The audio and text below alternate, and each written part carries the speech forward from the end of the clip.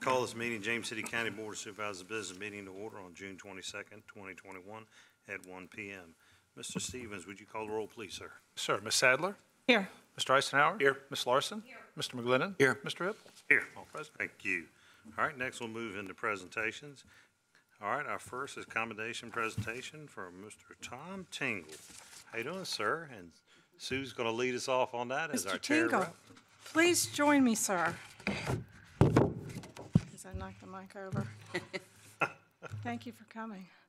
We just wanted to take a moment to recognize Tom Tingle today. He's given countless hours of his time and service to the county. He's brought immense um, expertise to our Economic Development Authority, and we just, he's retiring from his service with us. But we just wanted to take a moment to thank him for the many years of his dedication to James City County. And in doing so, we have a prepared commendation that we'd like to present to you, sir. Whereas Mr. Thomas G. Tingle has faithfully served as Director of the Economic Development Authority, the EDA, of James City County, Virginia, with honor, integrity from June 2005 to May 2021. And whereas Mr. Tingle not only served with distinction, but was a great friend to the business businesses of James City County, providing exemplary service, dedication, and leadership. And whereas Mr. Tingle provided his leadership countless times both as vice chair and chair of the EDA throughout his four terms as an EDA director. And whereas Mr.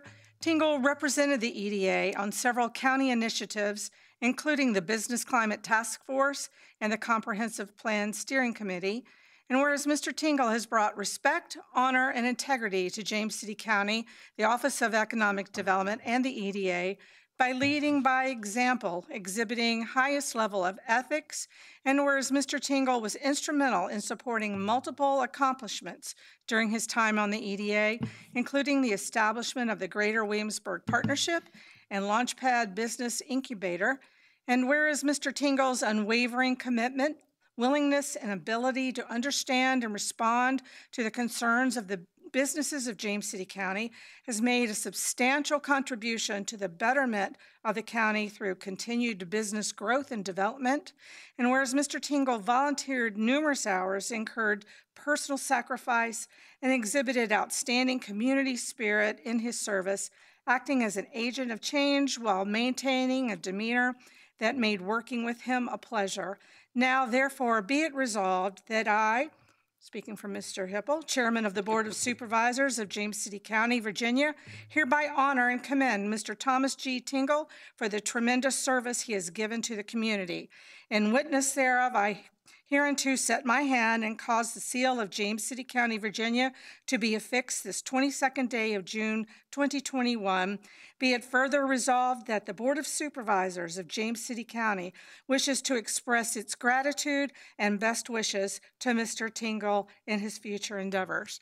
Thank you, sir. Appreciate all you've done very much.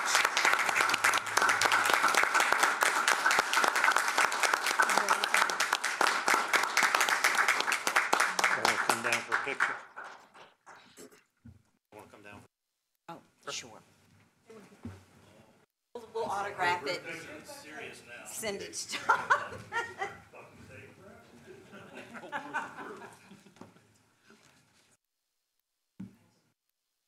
Lee Jackson.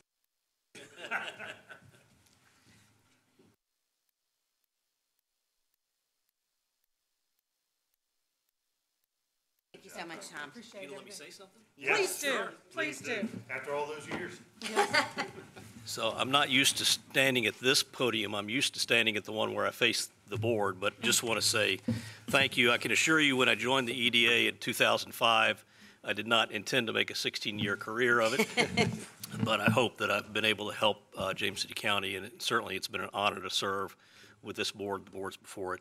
And- And I would encourage, with my back to the Board of Supervisors, to uh, ask this board to continue to keep economic development uh, in the forefront in your, your planning. Uh, It is extremely important to the county. You've got a great staff. You've got a very talented and diverse group of businessmen and women on the EDA now, so put them to work. Um, I look forward to the results in the coming years. And thank you again. Yeah. Thank you, Tom.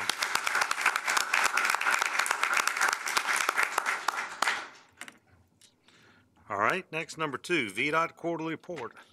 Mr. Carroll, welcome, sir. Thank you for having me. Good afternoon, Chairman Hipple, other distinguished members of the board. Um, Here to give the quarterly update for VDOT. Uh, To start off, um, we've had some better weather. This quarter has served well for us in trying to catch up with all the delinquent drainage calls and uh, trying to get our truck ditchers moving and, and getting our excavators going. Um, So it's been a much better uh, quarter when it comes to that compared to the two quarters prior. So that's, that's a good thing for us. So uh, that has been one of our focus points uh, moving forward. So just looking at some of our accomplishments um, from March to the end of May, um, we had completed 781 of 910 work orders uh, in the county, um, which was an 86% completion rate. And of those, um, that were remaining, 77 drainage, 46 roadway, and six vegetation. Um, So you can still see the drainage is one of the major concerns um, from our customers, um, even in the past quarter. So, you know, still focusing on that. A few highlights to accomplish. Um, We did 25 drop inlet repairs and cleaned, uh, swept uh, 98 lane miles of roadway, Route 199, uh, Monticello, Route 60, uh, section of 607. Uh, Completed ditching for four miles of roadway, uh, patching road surfaces, 56 tons of asphalt. A lot of that prior to paving schedules coming in, which started this month. Um, So we have a very aggressive paving schedule moving forward, so glad to see them getting started a little bit early. Uh, Mowing, we did primary and secondary um, mowing, and the new, I saw them out here last week doing the litter pickup on 199, but that starts this week as well. Um, So you'll see the mowing for the primary and secondary system. Um, And um, looking on to our projects, uh, we have the I-64 widening, segment three. I'm not going to read all through that, but the completion date is getting closer, uh, December of this year. So uh, a lot, a lot of, a lot is going on out there um, and trying to hit those target dates. So uh, uh, just, I will say, as you travel through that work zone, you know, please watch the speed limit, be courteous, and uh, and watch out for the the lane switches because we have a lot of lane switches going on out there, um, which causes you know some confusion um, when you're going from one side to the other. So. Uh, another project that's under construction is the Long Hill Widening Project. Um, that's between really 199 and Old Town Road. Uh, that's converting a two-lane road into a, uh, a four-lane road. And, um, they're doing a lot of work right there around Devon Road, Old Town Road now. Uh, they're in what they consider stage two. Um, and then we also have, as part of that project, is a rev share, um, project, uh, that will extend the turn lane and add turn lane at Old Town and, and Long Hill. Um, so completion of that project is, is slated for fall of this year. Um, so we, we're, we're getting closer, a lot's moving, um, tightening the schedules because we're getting closer and closer to that date. Um, Then we have the Skiffes Creek Connector, uh, which is a design-build project, and that has uh, started construction as well. Um, There's a lot of uh, earthwork, uh, uh, tree removal, you know, those type of things for the pathway. Uh, I know they're certainly working right there behind our Skiffes Creek area headquarters, our little sub-area there, but uh, I went out there the other day and, and looks like that they are uh, turning dirt if, at the, at the current time. There are some lane closures that are happening on 143 and Route 60 where those are going to connect, um, really in, in doing some earthwork. Mostly is what that is at this point, but um, throughout the project, there will be some lane closures at both of those termini. Um, That is in stages as well, um, as you can see, but um, it, it works out where they're doing the 60 and 143 widening improvements um, April 21, and then the new construction begins May 21, then final pavement overlay June of 2022. So uh, pretty, pretty quick project um, for a new roadway, but, you know, the only, the only maintenance of traffic is at sixty and one forty-three, so we're able to work, uh, uh, pretty consistent, um, you know, between those two corridors. Uh, Plant mix, I I mentioned that a little bit earlier. Um, That has started. Our contractor has started on Monticello with doing some milling and paving. Uh, That is the first route. Uh, From there, they'll be moving over to Centerville Road um, from, um, well, they're going to do two sections of Centerville, the one between Route 5 and Route 5 5000. Um, And then they got uh, the the 5,000 to, uh, was it Theodore Allen Road? Um, That'll be next on the schedule. And then the contractor is planning to uh, start on 199, uh, which is from College Creek Bridge all the way to Monticello um, after, after Centerville. So uh, we will be starting this week in a tree trimming process, um, trimming the trees along uh, 199 for that, for that section of paving. Um, Just so we can get the pavers, the shoulders have kind of, it's kind of encroached in on that portion of 199, a lot like we did with the preceding portion last year. Um, On-call pipe rehab, um, we have a contractor that has uh, been repairing some damaged pipes for us. Um, We've issued 12 task orders, um, and they're moving right along. Um, We are in the process of working out uh, right of entry for um, property over on Route 30 Old Stage, and we'll be doing an outfall pipe replacement with them um, hopefully in the next four to six weeks, um, based on right of entry. So that's what all we're waiting for. And then, uh, some upcoming projects, uh, we got the four lane, uh, the widening portion of the two lane of Croaker Road to four lanes from the library back to Route sixty. Um, and that's gonna start construction in late twenty twenty-three. Uh, we have the sidewalks and bikeway on Route sixty, uh, from Croaker Road to Old Church Road. And that's about a fourth of a mile of, uh, pedestrian facilities. And that'll start construction in late 2022. And then looking at our smart scale upcoming projects, um, that's construction of a shared use path that really connects the Long Hill project that we are currently under construction now um, with the opposite side of 199. So it's, it's sort of bridging that between both sides of 199. Um, and that project looks to start in construction in 2024. Um, We have done a, a, a quite a few county safety and operational projects, um, working with, uh, uh, county administration. Um, we are currently doing a signal synchronization project on Route sixty, uh, in the Lightfoot area. Um, really looking at, uh, connectivity and making sure that they're all talking. And so you don't get stopped at every one with the red. Um, it's some improvements out there now. I don't know if you'll notice it, um, but there is. But, uh, we've put our communication pieces are already up. And now we're just working on a, uh, a, a plan, uh, a timing plan, you know, to synchronize those. Uh, we've had a few traffic studies come in, uh, this quarter. Um, first one being, uh, the Route thirty speed study. Um, you know, we've implemented that as a fifty mile per hour speed limit, um, from, from, it's really the corridor, it's both James City and New Kent, so f- let's just say from Barnesville, is that Farmers, Fieldstone Parkway? Field, no, on the, on the New Kent, Farmers Drive? Farmers. Farmers Drive, from Farmers Drive back to Fieldstone Parkway, so that, that includes both New Kent and James City County.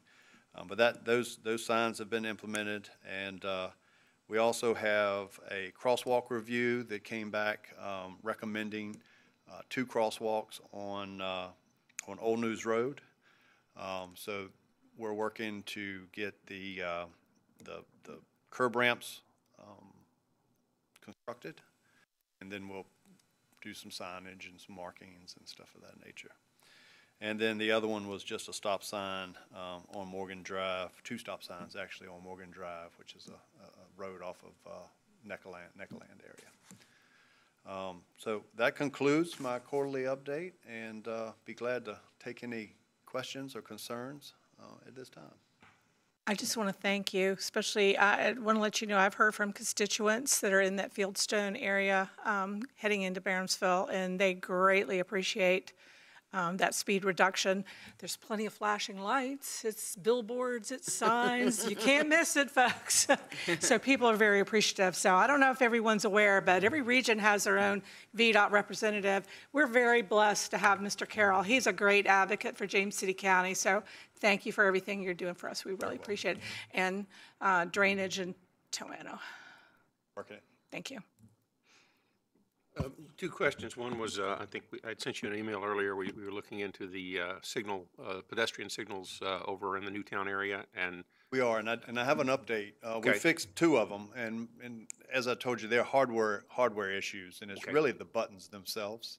So, um, they're offline until we can fix the buttons, but two of them have been fixed already. They're how still many working. on more it. uh, is uh, I think it was three or four total, Three or four total. um, that were, that were broken. broken? Okay. All right. Now, I don't know if it's from use or from malice, I don't know, but Um, The other one was the, uh, talking about the crosswalks on Old News Road. Where uh, where are they going to be located? Is that, Uh, one of them is close to the intersection or at the intersection of News and Old News. And then there's one that's a, it's not a mid-block, but I, I can show you exactly Okay. where they're at. I have, a- I'll, s- I'll leave the, uh, the report with you. okay, thank you. I apologize if I missed this, but I know we had someone that wrote to us about the synchronization on Monticello. And I've been out there, I've seen several engineers um, uh, on the side looking like they're trying to, to work on that.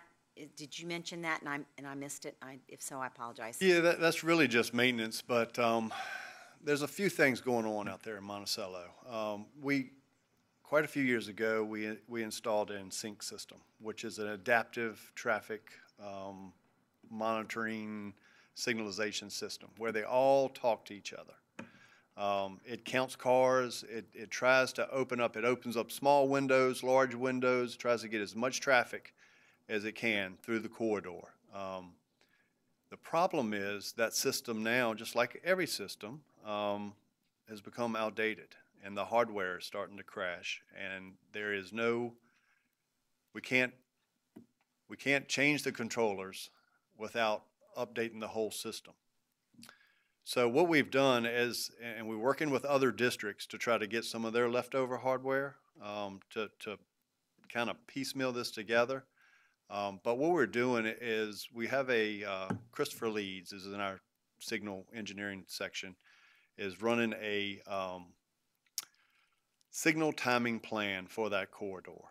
So when it's all said and done, we're going to take the InSync and put this signal timing plan where it's pretty much you can depend on it. You know, it's going to open up um, as you go through. You're going to catch a red, but when you do, it's going to open up as it goes through to try to get as much traffic through there as now as we can.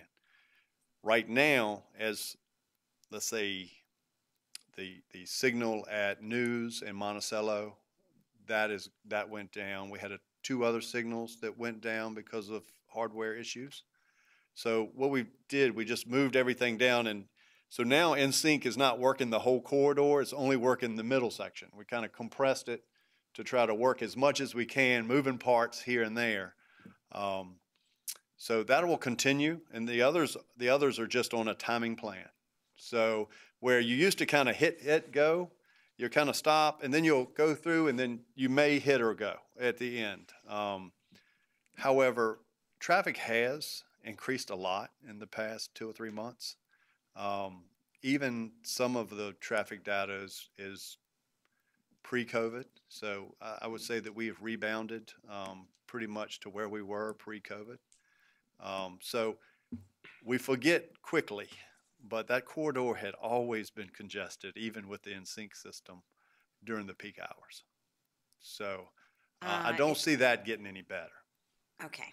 Um, the other thing that I had was hopefully, uh, perhaps at your next update, could we get a, um, would it be possible to get an update on statistics at, uh, Centerville and five since the, we've made this change to see if we've seen less accidents? And then also to see if we've seen an increase in accidents at Monticello and what is that name, road? Green Springs Way, or what, is it Green? Green Springs? Springs Plantation. Green Springs Plantation. Yes. Sorry, I've got a lot of road names rolling around in my brain. Um, so anyway, if we could get that, that, that would be, um, That's going to be about a six month after. Normally, we. Okay, that's Normally, we look at it about a year after. We look at a year's worth of data, so you're only going to be looking at a short. I don't mind, I don't mind updating on Okay, six months, but I don't know that six months is a trend. okay. i- In the, Well, you know, look- but, but I'll certainly look at the next, at the, at, Okay, and you, and, and understand this too. The data that, you know, when you have police reports and stuff of that nature, it takes a little while for it to hit the TRED system for where we can pull it. So even when I do it at the next quarter, it's gonna be a month and a half to two months prior, it's gonna be a cutoff there. maybe we should just wait for the year then.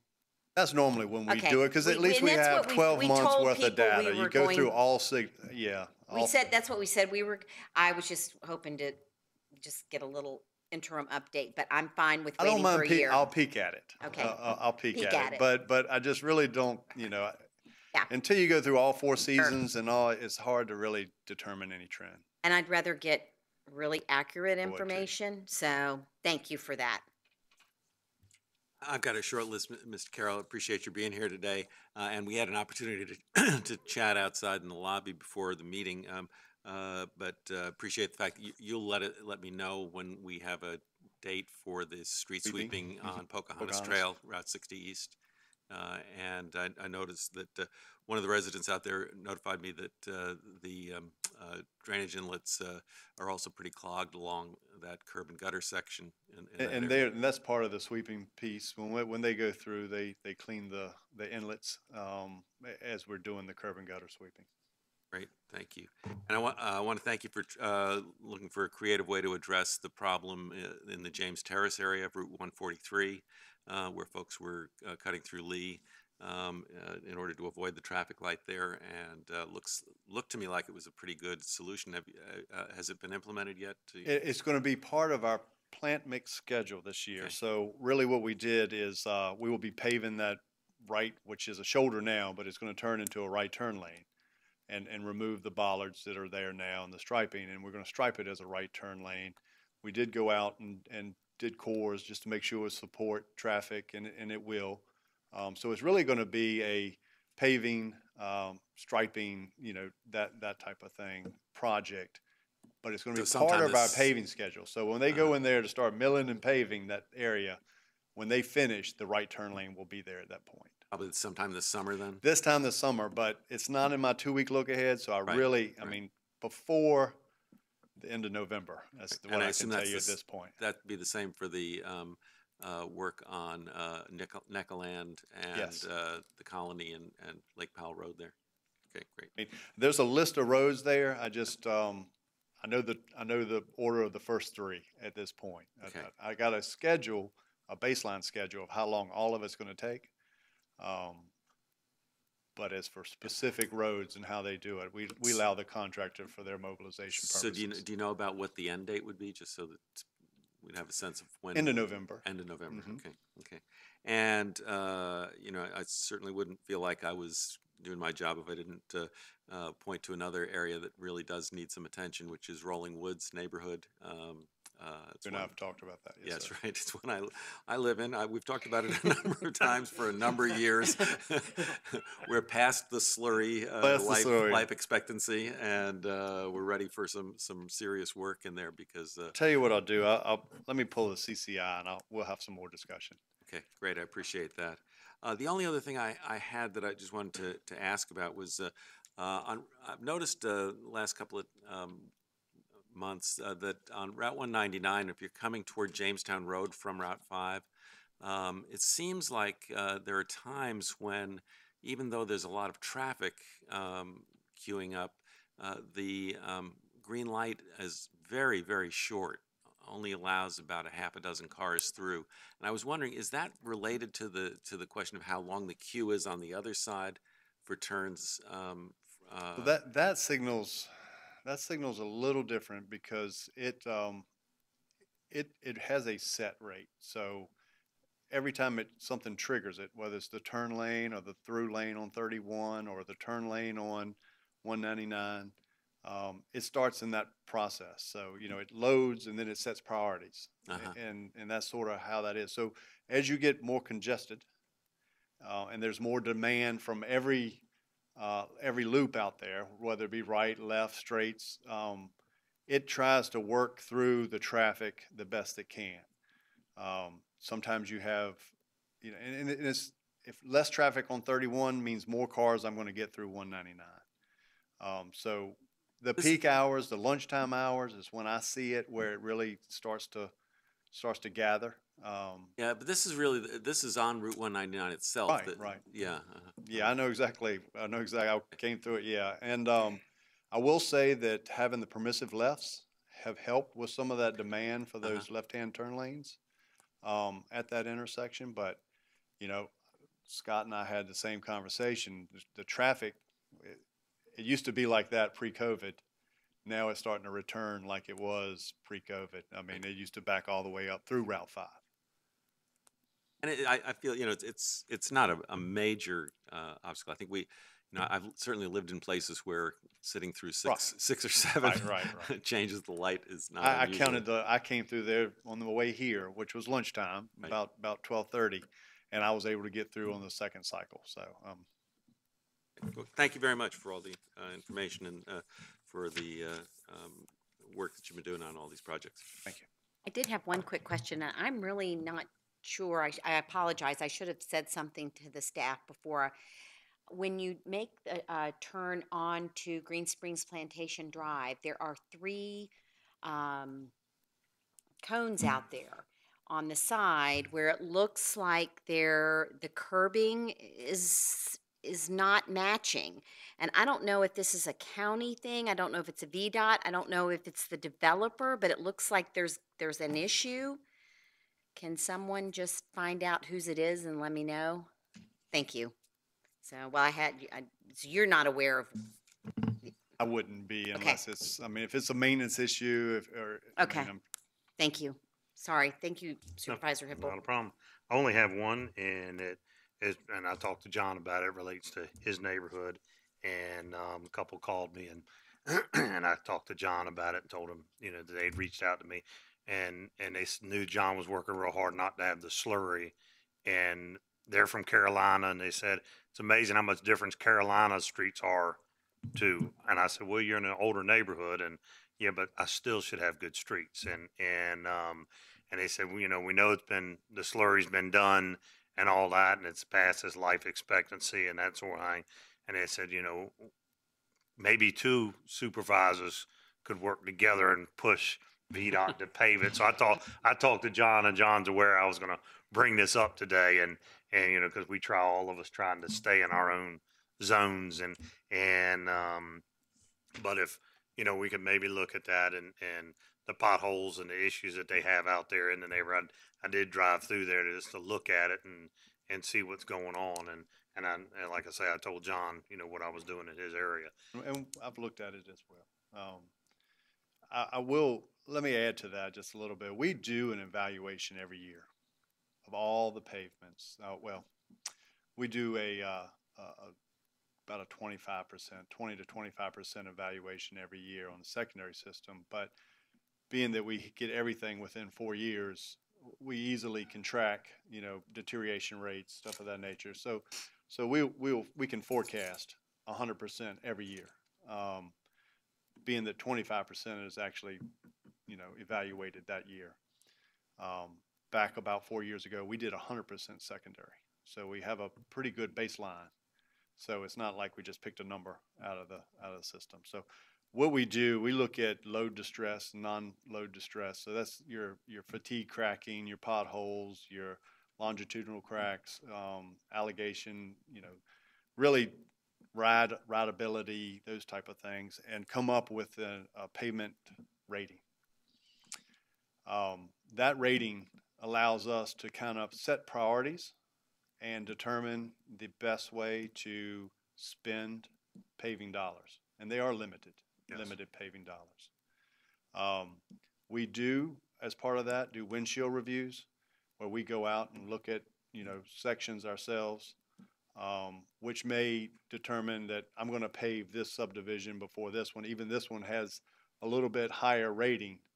Um, there may be more vehicles per day that travel this, in this subdivision. More houses, more impact type of thing, um, with the limited dollars that we have. Um, I'd love to pave everybody's road.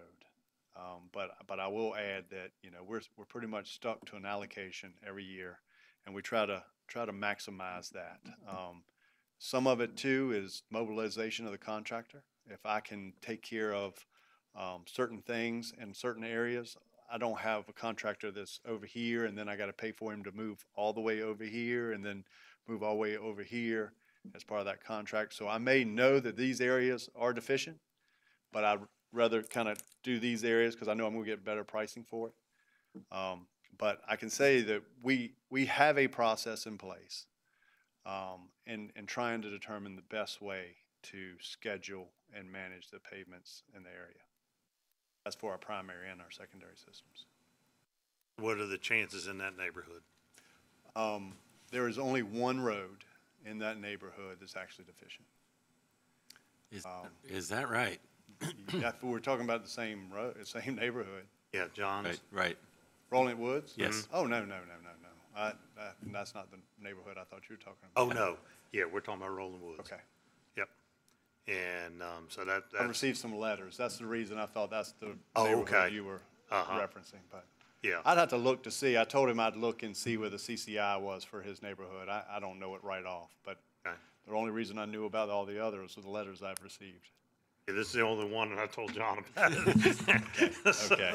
Yeah, We'll yeah, just and, I, and I'm concentrate on that familiar, and one. I'm familiar Miss with Hipple's Rolling had some Woods, relatives but- that moved into. But, but I will neighborhood. say that, you know, a lot of that, and, and, and Mr. McGlennon and I have had this conversation many times about, you know, about what that process is and how we determine. So it's not just going out and riding or pressure. I mean, you can pressure me, you know, that get letters, write letters and stuff of that nature, but when it comes down to it, at the end of the day, I really have to use some sort of process to Right. evaluate these, to fairly evaluate and try to use the money the best we can Definitely, um, and, and trying to set some sort of pavement management system. right. Yeah, we appreciate all your hard And, and I'm right. I, like you said, I, throughout the county, if I could pave every subdivision, my job would be a lot easier. Would. Everybody be happy. Yeah. For now. And that's what I try to do, but yeah. Any other questions? Thank you, I appreciate it. Thank Thanks for y'all your very time. much. All right, next we'll move into number three, which is the two thousand and twenty-one Historical Commission essay contact, contract, contact awards, and Mr. Phillips, Chairman. Welcome, sir. Good afternoon. Thank you. Just here uh, as the chair of the James City County Historical Commission to present this year's essay contest winners, the 2021 uh, essay contest winners. Make sure that they get uh, uh, their certificate. Definitely. So I don't know if all of them are here today, but our third place winner for the 2021 James City County Historical Commission essay contest uh, was a homeschool educated student, uh, Henry Kester. Henry here today.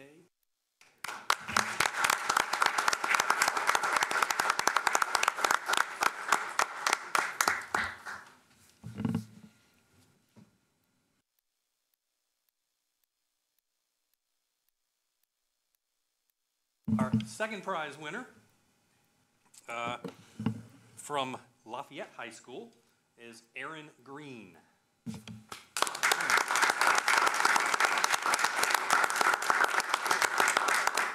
Congratulations, Aaron. You did a great job.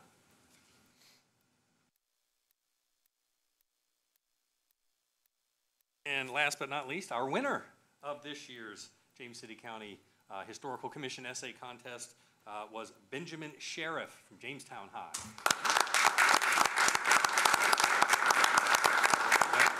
Well, Nice to meet you, sir. You did a Great job.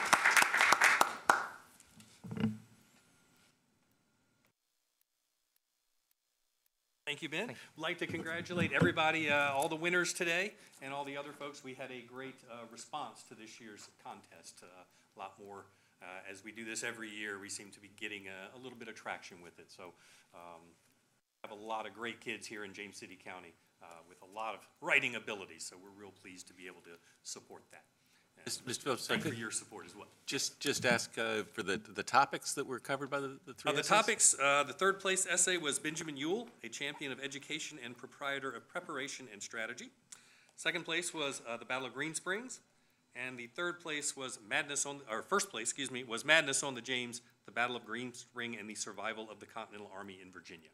So all James City County local history. Would you like to do a photo with all the board members? in Sure, the- absolutely. That'd be You great. want to come back down? Is there any way to read?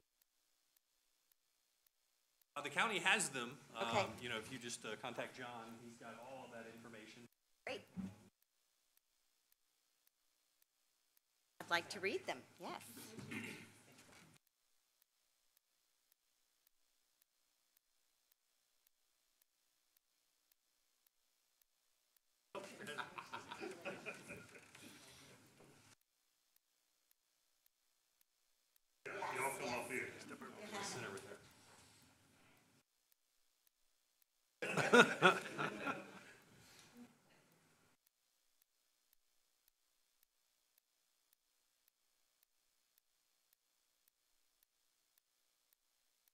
Congratulations. Well done, guys. Thank you.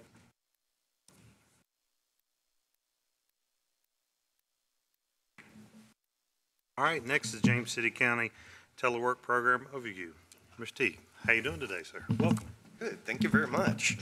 Uh, Chair Hipple and members of the board, I'd like to give you an overview of James City County's telework program, a bit about what uh, the background is, benefits for both employees and the employer, and our history with telework in the workplace, and then what our policy looks like to make ours a little different and move our workforce to the 21st century.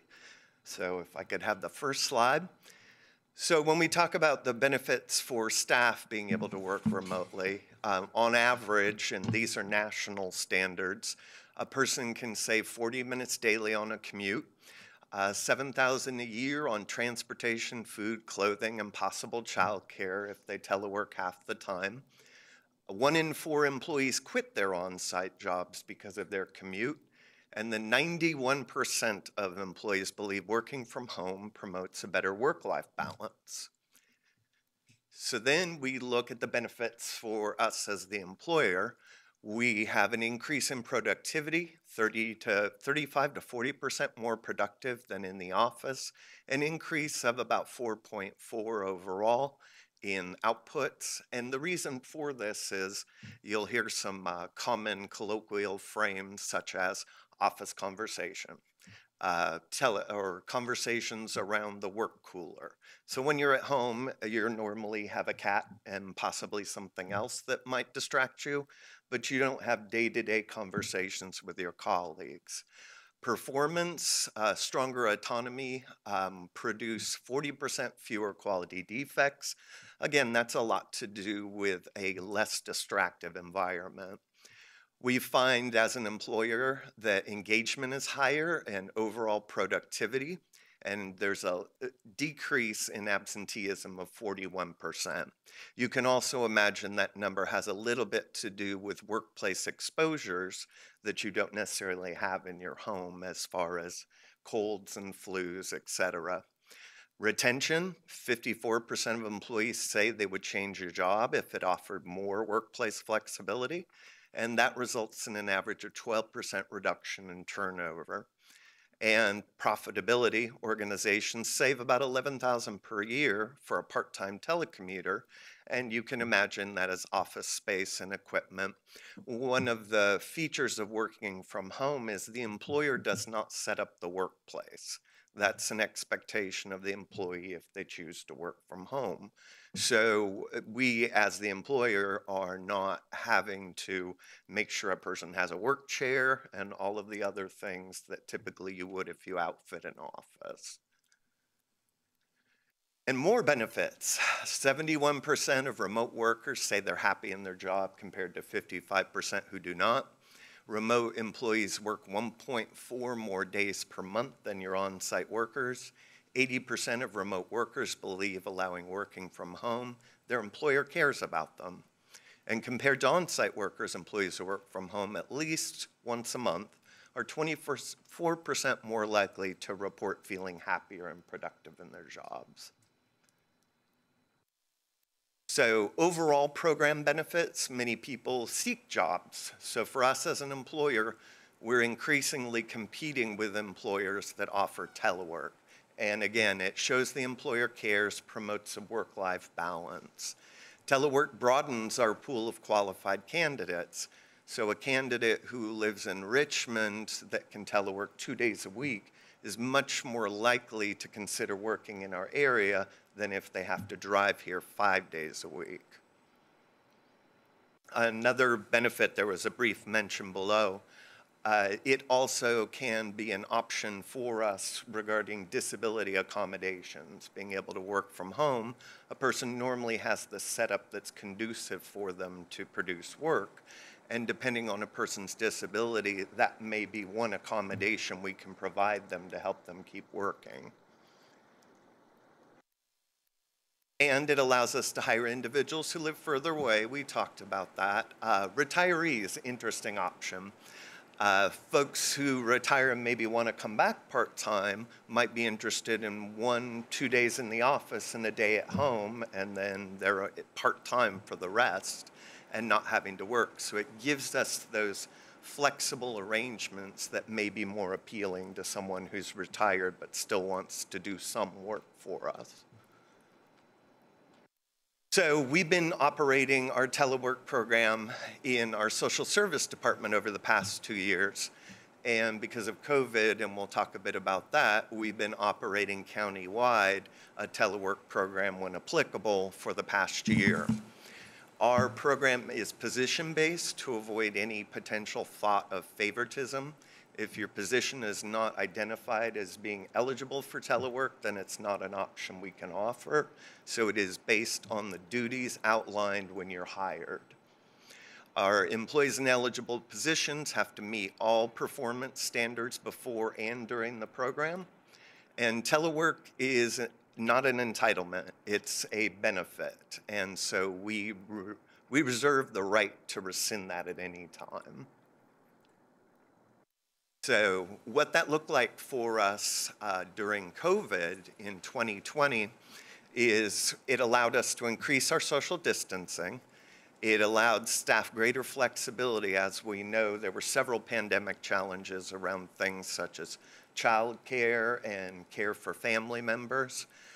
It teleworked over 75% of their time. We had 99 folks regular teleworking during that point.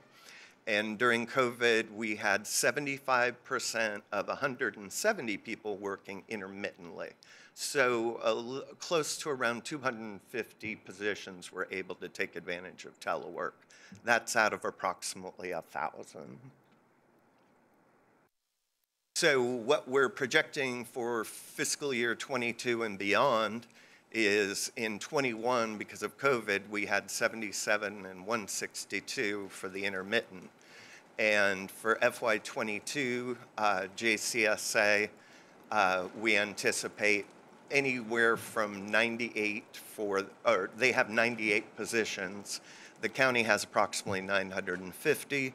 We project 19 regular teleworkers and 40 intermittent for approximately 1,100 positions.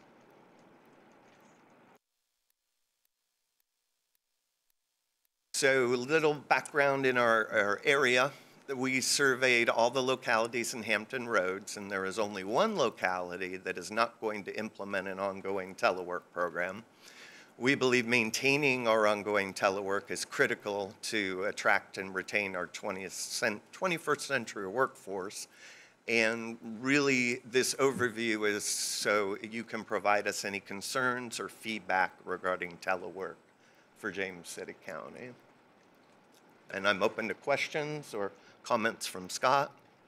Mr. Chair, members of the board, if I could just comment, my intent with telework is not to have any, well, very few teleworking 100% of their time. That would be the exception and not the rule. Maybe one or two or three that has some life circumstance that that makes sense for us. I do think that the telework option where folks could have a schedule that is two or three days in the office, the alternating days at home teleworking, that if we don't offer that, it probably doesn't have an effect today, but it does have an effect as we go forward in time. As more localities offer it, people become more accustomed, and it makes it harder and harder for us to recruit some of those positions where teleworking does make sense. Social services and talking with Rebecca Vinroot, I think it's worked very well there to help her space requirement, which is what drove that. She can really monitor her productivity of her staff, and so I, I I think we have very good accountability there. During the telework that related to COVID, departments were tasked with keeping up and making sure their staff were in fact producing. And I believe by and large, we were getting more production out of our staff uh, for those that teleworked. Um, I can't tell you 100% that we didn't have some take advantage of that, but I think that is by far the exception. I really think people gave us more hours and more production at their time at home. So our intent is not to do a whole lot of it. Patrick's numbers were 19 was sort of that permanent schedule and another 40 that sort of do it intermittently. Um, but I do didn't want to get doing that sort of widespread without the board's input and thoughts and making sure we addressed any concerns you had. Questions?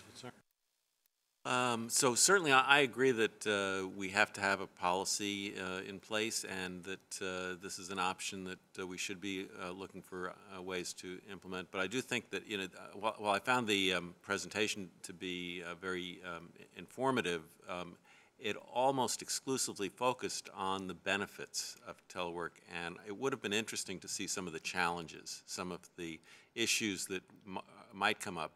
I noticed you, you said that, for instance.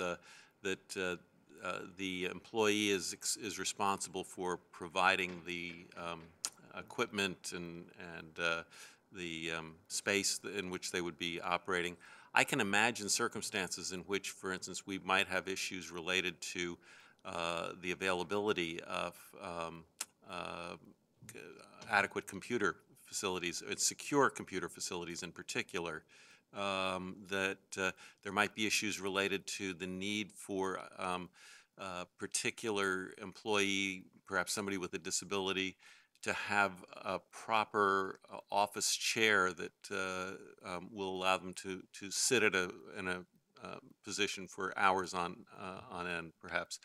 Um, I wonder about questions like um, when you have two employees who are essentially doing the same kind of job, but we but we have a responsibility to make sure that there is somebody available for face-to-face interaction with the county's customers, how you determine which of those people might uh, be uh, eligible for it, or whether it's an alternating kind of thing. I just, you know, um, uh, when we look at national numbers and sort of mixed government and business, I think that it obscures some of the day-to-day issues that might arise that, that do require some kind of consideration. Again, I think that it's, that you're absolutely right that we need to have a policy that we want to uh, be uh, uh, flexible and allow for opportunities, but there are going to be a lot of people who are just not going to have this available to them.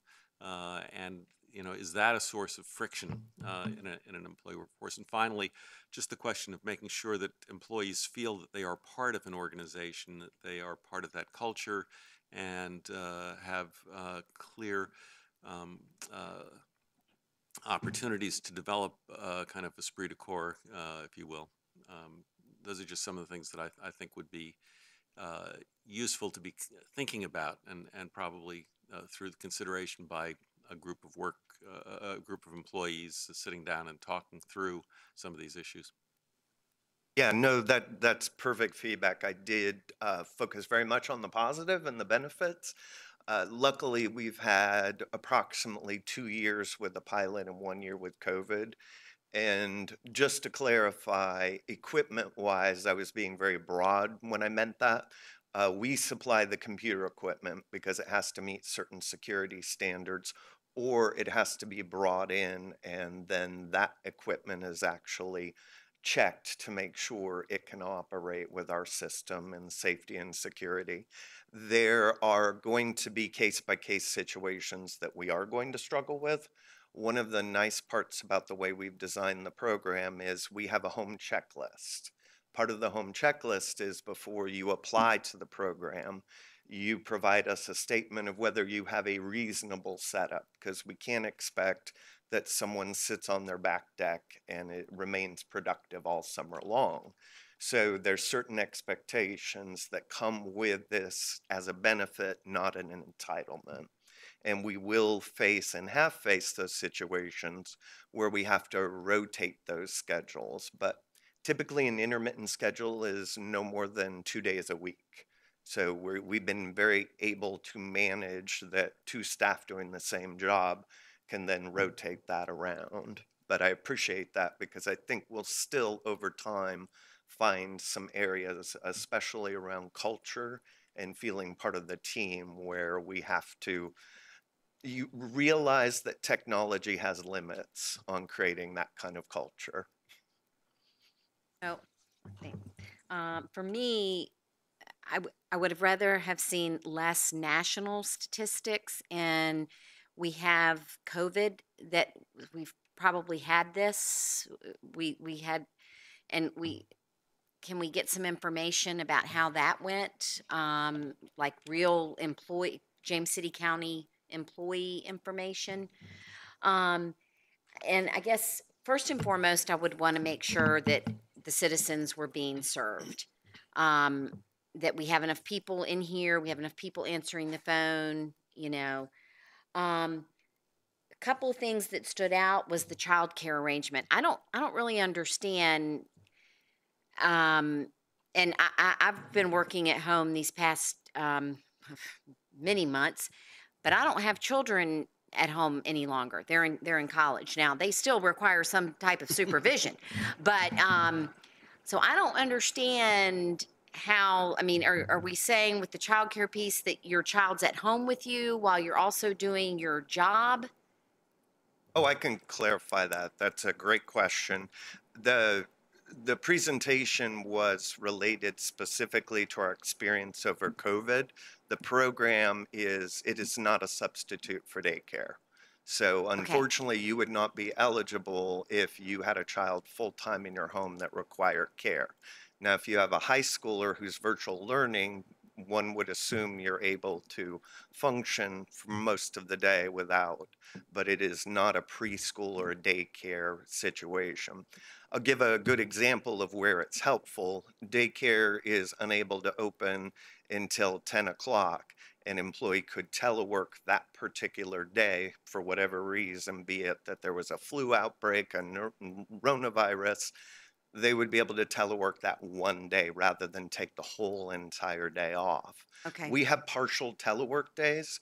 Those are days to recognize some of the day you need to do something personal, but the rest of the day you can log in and work. So it's that flexible arrangement that we're really gearing this towards. Okay.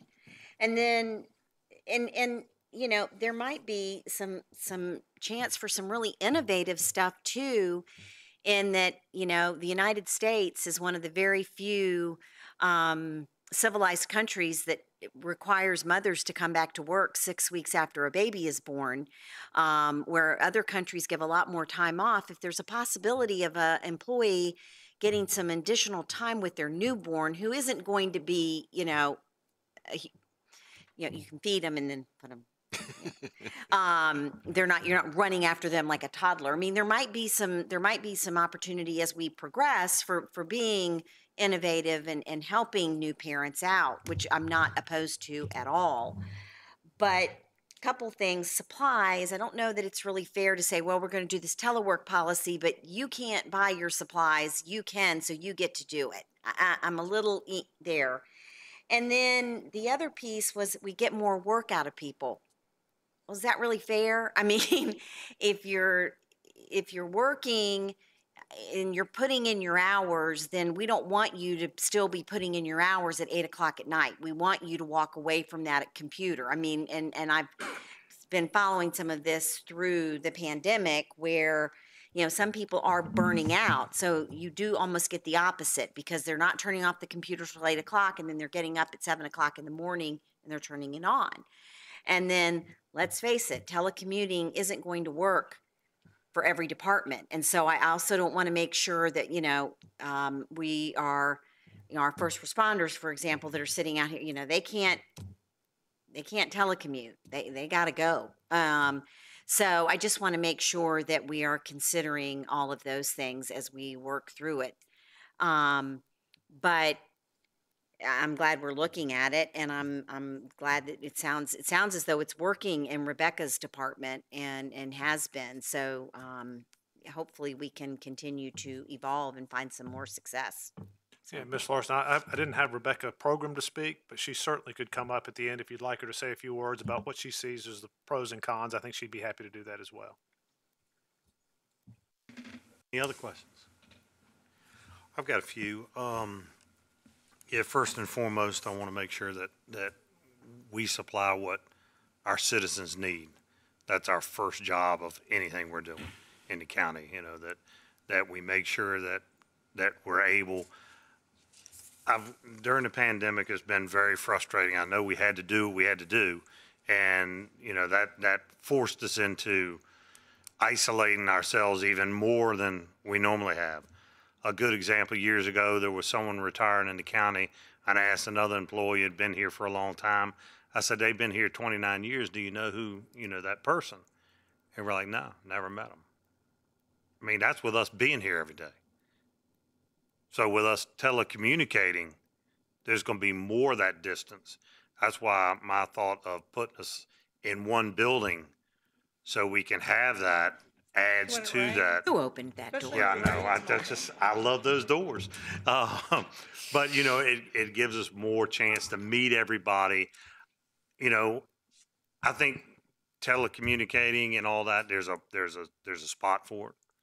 You know, where it can help with, you know, days here and days there, that sort of thing. I just want to make sure that, you know, you call anything anymore, and that's the biggest frustration I hear from anybody is you call somebody and you're in India talking to Cindy, who's a man who doesn't know anything about what you're talking about. And so you, you're sitting there going, I just want a person to be able to answer this question right now. I don't have all day to go through all this. I don't have the, I don't have all day to send an email and wait for a response to come back in tomorrow. And that's what I don't want to see us getting into. And um, some of the other communities are doing that. And in construction, that is extremely frustrating. You can't get an answer, well, I'll be back in the office Tuesday. well, I'm working today. I, you know, I, I would like it. Can you give me somebody who can get me an answer? Well, somebody's on vacation or the rest of them are telecommunicating, so you can leave them this and, and it's, it's very frustrating. I know it's just not me in construction, it's other parts of that as well. We've done very well in James City County to keep that moving, keep that out there. And compared to other communities that I work in, we've done extremely well on, on getting that out. I just don't want to see us lose that and don't want to see us in an area where, okay, because you're telecommunicating, and some of it was, I don't have that, that's at the office. Well, then your telecommunicating today is absolutely worthless. You should be sitting in your office where you have that information. And, and that's what I've gotten in, in, not in our jurisdiction, but others. And it, it's very frustrating. So I don't want to see us following a trend. I agree with this is, this is another thing that we can use in our toolbox. I just don't want to rely on it too much. And then I worry with, um, you know, how come I can telecommunicate and John has to stay in the office? You know, that's not fair. And, you know, then all of a sudden is there an, you know, an axe between us because I'm able to go home and, and John knows at lunchtime I took two hours, but I worked till eight o'clock at night. You know, but it's still like, well, I had to be here. I had to do this. And so I wonder how down the road, and then I wonder down the road would be like, okay, you won't let me telecommunicate, but I have everything you want, but my job may not quite allow me. Well, I may want to sue you so I can telecommunicate. You know, everybody's doing it across the world. Why can't I do it? James City County doesn't let me as this employee, but lets John do it. That's not fair.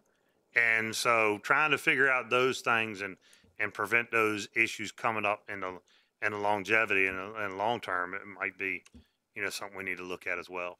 So just a few thoughts. Yeah, no, and, and I've heard that theme through some of the comments, and I think it's very important. One of the reasons why we we insist it's identified in the job description is the same reason why my job description says I only have to lift 200 pounds, but a firefighter has to lift 100. It's the nature of your job that this position does these things. So it again, it's it's truly not an entitlement and that's why we have to have a mm-hmm. policy and a job description to defend why some mm-hmm. jobs can do this and others can't. And we have to go through a very detailed process to determine which ones can. And I So it's not COVID where we got to do everything we can. This is a design program where it's going to meet everybody's needs, and this position allows for that. I do like the fact that this is a benefit. Like driving, this is a benefit. You mess up, you Take don't home drive. car privileges. That's it's right. the same idea. Exactly. So I like that part of it. Thank you. Any other questions? I- Yes, sir. I Pardon me, I was just going to comment. It looks like from the uh, slide here that you're talking about going forward uh, with potentially 19 or 20 regular and uh, 40 intermittent. Uh, So we're looking at about 60 people out of well over a 1,000. So total uh, people involved in this process would be about 6%. uh, And the regular ones would be probably about 2% of the, of the workforce. So it's a very small number.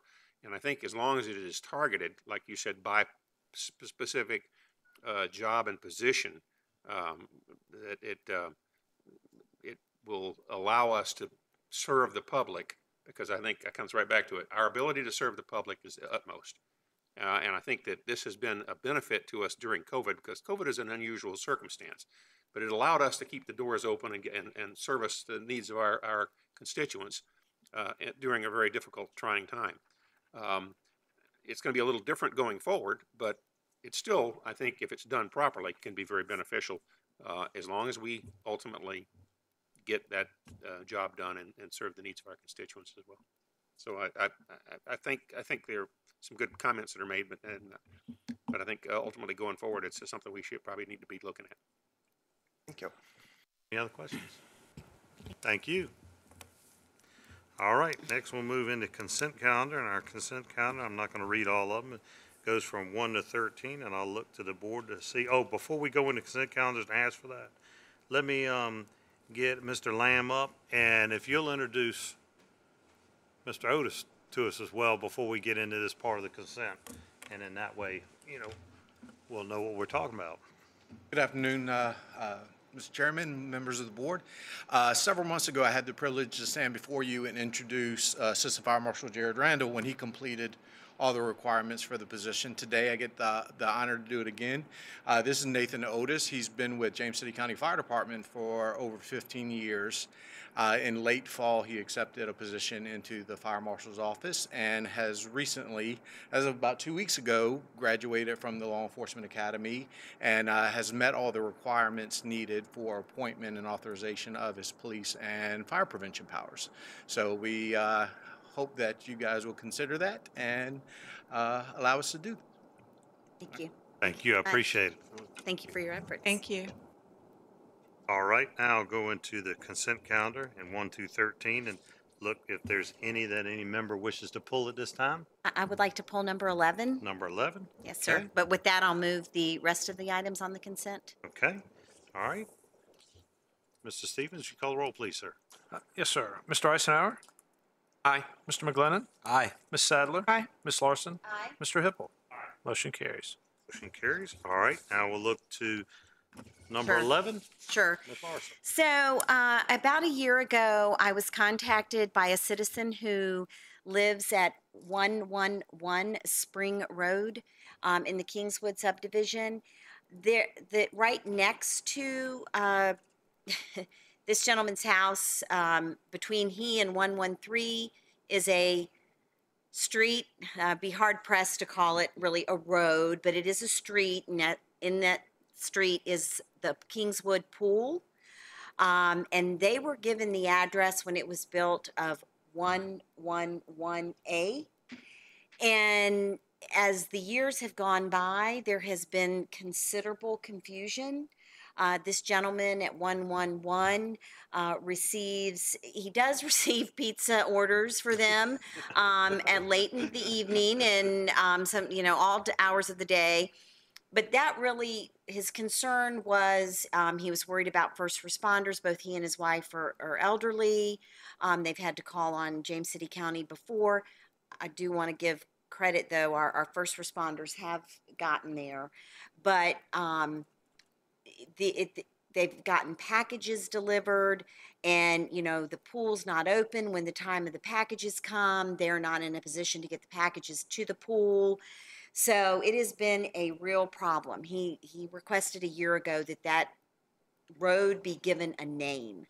And so we've been working, we've, we've hit a couple of, um, we hit a couple of, um, uh, hiccups. It, says in here that West Kingswood Drive to the new, but when I first started down this path, um, no pun intended, I asked if there, this road is, there is no name. That's why they're one one one A at the pool. They, they're not West Kingswood, um, Drive. We discussed today that possibly being a road, but the county administrator, um, was reluctant to do that or to, um, to back that splitting off of, there is a West Kingswood, but splitting it away from that, especially with the pool involved. We know that our uh, fire department or police department would get there, but it would just make it a little bit more confusing. So, all of that to say, I would like your approval for one,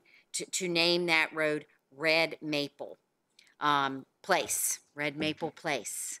Um, and, and Next question about you can, one, one eleven, the, the individual who's concerned is, is, was his address still be the old, uh, he will stay, his address will stay Spring Road. so the only one that would become. Is the on pool. Is the pool. So this, the pool would be the only address on this new street. Correct, Solves the problem. Thank you. yes. The only, that's the only address impacted. Uh, that's all your hard work and your recommendation. Yes. Well, and staff, I have to say, has worked hard too. They've taken some, there, there was some, some, uh, we didn't all match up over the last few weeks, uh, but we're, we've matched up today and in a very hurried way today, we found Red Maple Place. So, Is there a red maple there? We'll plant one. don't make, there will be by four o'clock this afternoon. In the rain. Yeah, so, but anyway, so that's my recommendation, All right, so. we have a recommendation. So, Ms. Larson, the, I think it would be a motion to approve the resolution with the amendment from uh, Clam Court to Red Maple Place. Okay. Yes, that would be my recommendation. Or my, is that right? Yes. All right. All right, roll call, please, sir. Ms. Larson, Aye. Mr. Icenhour, Aye. Ms. Sadler, Mr. McGlennon. Mr. Hipple. Aye. Motion carries. All right. Any board discussions or board considerations at this time? Or board requests and directives? I'm good today. Roll them all Thank up together. Um, I, I did, just wanted to say, uh, on June twelfth, we went out to, uh, Peg Borman's, uh, Clean County Commission picnic, and uh, it was, uh, uh, highly successful. They had, had beautiful weather and, and, uh, good food and, uh, a pretty good turnout out there, and uh, I know, John McGlennon and I were there, but, I really, enjoyed that. Um, especially since the, young, lady who won their, essay contest, and won the scholarship, uh, was there to receive it with her parents, and uh, she, was, she was a, a very delightful young lady. Um, we all, or most of us, I think, uh, had a chance to come out to the Juneteenth uh, celebration at, at uh, Freedom Park. That was uh, very impressive, and I want to thank the county staff for really putting on a superb uh, event. Um, and then um, I had one uh, Hampton Roads Transportation HRTPO. We've had a special meeting and we finally passed the 2045 long-range transportation plan. It's finally done. It's just been taking forever, but it's all, all done. So that's all I had. No, I'm Okay, I didn't want to jump in front of you. good. Thank you. Uh, Just wanted, there is a triathlon out uh, at Chickahominy Riverfront Park this weekend, so there will be traffic impact on Thursday and Friday. And I also believe they are still looking for volunteers, if anybody is interested in, um, they, they still need um, some lifeguards, uh, and it, this is paid. The compensation is, um, for lifeguards is paid. They need some bike leads, they need some Sunday park, parking directors, they need some help with kayaking. So if anybody's interested, you can shoot me an email and I, I can send you the, um, link to volunteer. So thank you for that. Um, and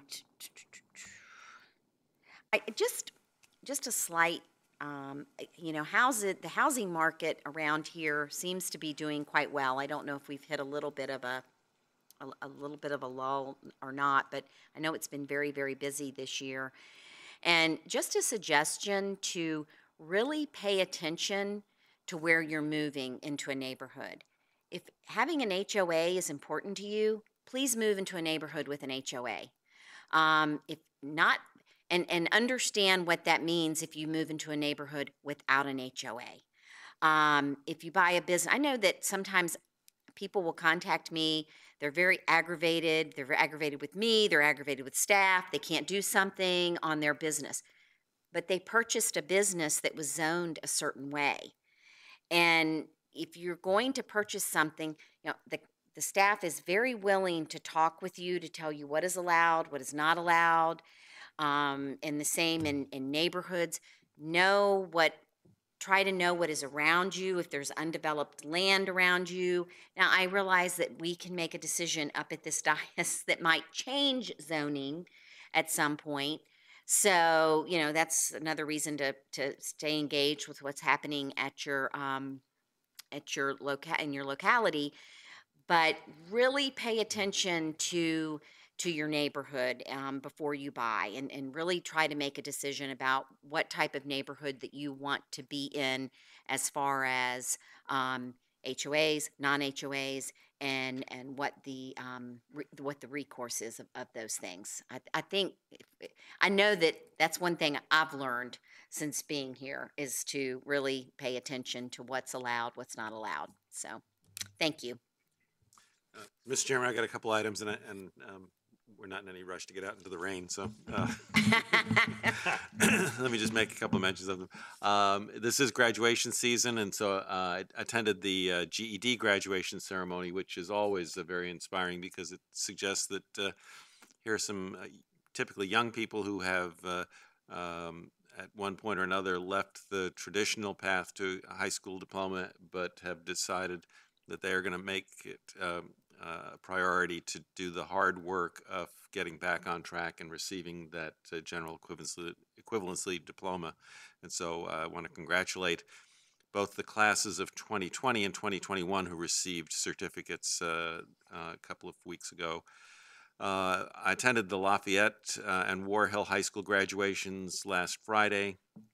It was a little toasty out there, but it was uh, certainly great to see everybody uh, um, receive their degrees, and it, was wonderful that families could be there to to celebrate with their graduates. Uh, was unable to attend this year's Jamestown High School graduation, but uh, uh, I know it was successful as well. Um, uh, Speaking of schools, um, Mr. Stevens and I were both at uh, the um, uh, unveiling of the new electric school bus uh, buses that uh, our school system has received as part of a project in conjunction with Dominion Power and Sonny Merryman Bus Company. Uh, and uh, it was really very interesting to take a ride on the on the buses. Uh, I don't. Mr. Stevens was asking a lot of questions, uh, betraying his engineering background. Um, uh, so he may have something else to say about this, but uh, I just thought it was uh, uh, terrific, not only from the perspective of the uh, environmental quality of these buses, the the um, very quiet ride that you would experience, but also this not only on the electric school buses, but other school buses, the new safety equipment that is being put on board to make uh, students and, and uh, uh, those who are there to see them off the buses feel safe and, and comfortable walking across the street. Uh, also attended the Juneteenth celebration, which I, I agree with uh, Mr. Icenhour was it was exceptionally well done. I congratulate the uh, the committee that worked hard on that and saw it this year as a substitute for the Black History Month celebration. But I think we'll see both of those next year and, and going forward, and it'll be a great addition. Uh, and uh, uh, again, uh, with Mr. Icenhour, I attended the uh, uh, um, annual picnic celebrating Will Barnes, who was a great volunteer for our Clean County Commission over the years and was responsible for, uh, as a volunteer, organizing a project that resulted in the planting of about 100,000 tree saplings along Route 199 uh, to help screen uh, that road from uh, the neighborhoods adjoining it. Uh, and finally, um, I attended a virtual meeting of the Hampton Roads uh, Workforce Boards. It's a combination of both the the South Side and Peninsula Workforce Boards that has been in work uh, in the works for a long time. Will take effect on July 1st. Uh, but it was also the last meeting uh, for Bill Mann, who has been the executive director of the Greater Peninsula Workforce Board. Uh, he's done a wonderful job uh, over the years uh, in helping to provide opportunities for people to get training that allows them to um, get certi- certified to hold uh, well-paying jobs uh, and uh, help meet some of the workforce needs of, of uh, industry in our communities. And he also was played a leading role in helping us to develop the one-stop shop that will be opening at Thomas Nelson Community College. Bill's uh, last major uh, action, of course, was playing a, a preeminent role in the merging of the workforce boards on the peninsula and south side, and I think we'll see some real benefits from that. So thank you, Mr. Chairman, for the indulgence. Thank you. The, um, it's amazing as you, as, as you sit in this board and, and watch some of the leaders start stepping down and all the quality and everything else that they put in our community and our region. It's amazing that, that, you know, you're always hoping that the new ones that are taking their positions will not only do the job that they did, but also lead us in new ways and new directions and new um, concepts as we as we move forward. So, hats off to all the older men and women who have led the county and done the jobs that that the new ones are taking over because it's a it, it's a big lift. We had the um, HR TAC meeting. Um, everything went well and all that, and uh, budget meeting as well on that. So there was a lot of number crunching. Thought we could get it done in two hours, and we went a little over that. But um, we took care of a lot of budgeted items that had to do with the Hampton Roads Bridge Tunnel. Um, I passed the gavel over to Mayor West on Harumpha. So as chairman of Harumpha, I ended my two-year stint, and that's all you can do on any of those, a two-year stint as, um, chair. So, um, Mayor West takes that over and, and I wish him well. And, and I was allowed to, I told him, I said, well, I'll, I'll let you gavel the meeting out. And he said, well, I'm already going to be a, um, a hit as being chairman when I get to gavel a meeting out ahead of time. So he's a great man, does it, will do a wonderful job for us.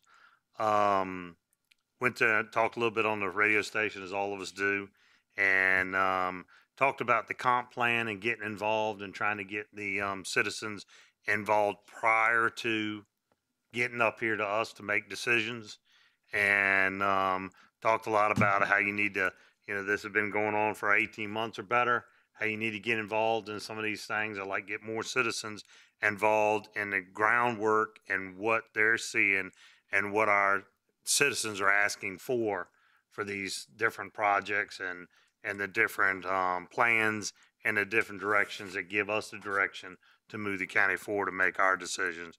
And the more citizens we get involved, the more um, ability we have to make uh, the decisions that we know the citizens of the county from all walks of life want. So, you know, just encouraging more um, citizen input on all of our boards and commissions. And uh, next, I'll turn it over to a report from the county administrator. Mr. Chair, I'll be brief. I, I really just want to say thank you to you and the Board of Supervisors for your support and guidance over the past several years. Um, I appreciate your willingness to extend my contract an additional five years and look forward to serving the community. Uh, you're working with our employees, working with you to serve the residents of James City County has really been extremely rewarding. Uh, I've been thoroughly enjoyed that. And I'd also like to share uh, with you and the community that Monique and I have closed on a home last week and we're excited to remain in James City County, at least for uh, the foreseeable future at this point. So again, thank you a lot for confidence and anything I do to support you or the community or our employees, I would just ask folks to reach out to me and happy to help with that. So thank you. Keep up the good work. Thank you, sir. All right, next I'll move into a closed session. for, uh, Look for a motion to move into a closed session for consideration of personal matter appointments of individuals to county boards and, and/or commissions pursuing a section 2.2 dash 3711A1 of the Code of Virginia. Motion. Motion? Roll call, please, sir. Ms. Sadler? Mr. Icenhour? Aye. Ms. Larson? Aye. Mr. McGlennon? Aye. Mr. Hipple? Motion carries. All right, we're in closed session.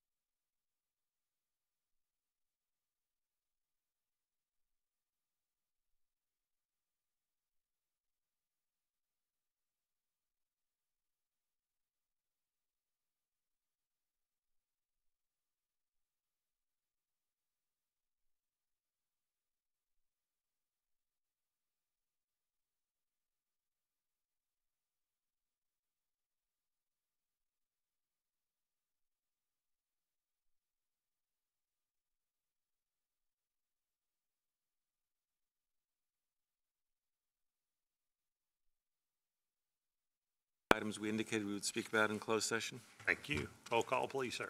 Ms. Sadler? Mr. Icenhour? Aye. Ms. Larson? Aye. Mr. McGlennon? Mr. Hipple? Motion carries. Mr. Chairman, I'd like to move the following nominations uh, to the Historical Commission. Uh, I'd like to move the reappointment of Fred Bolt and uh, Russell Henke uh, for terms which would expire on June 30th, 2024, and then appoint uh, Mr. Michael Routh to a one-year term through June 30th, 2022, Mr. Christopher McDonald uh, to a uh, two-year term which would extend to June 30th, 2023, uh, Melissa Butler, Heath Richardson and Bruce Schock to three-year terms that would extend to June 30th, 2024. Uh, To the Parks and Recreation Advisory Committee, we have had a resignation, so for the remainder of, uh, of a term that would expire on April 30th, uh, 2022, I would uh, nominate uh, Ivan Tab.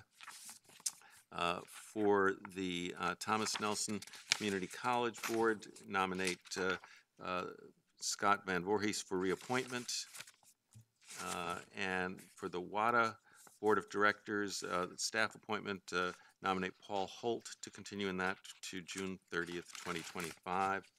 And finally, to, for the uh, Peninsula Alcohol Safety Action Program, uh, would nominate uh, Monique Myers Perry to represent the county uh, for a term that would ex- begin on July 1st, 2021, and expire on June 30th, 2024. Thank you. All right, roll call, please.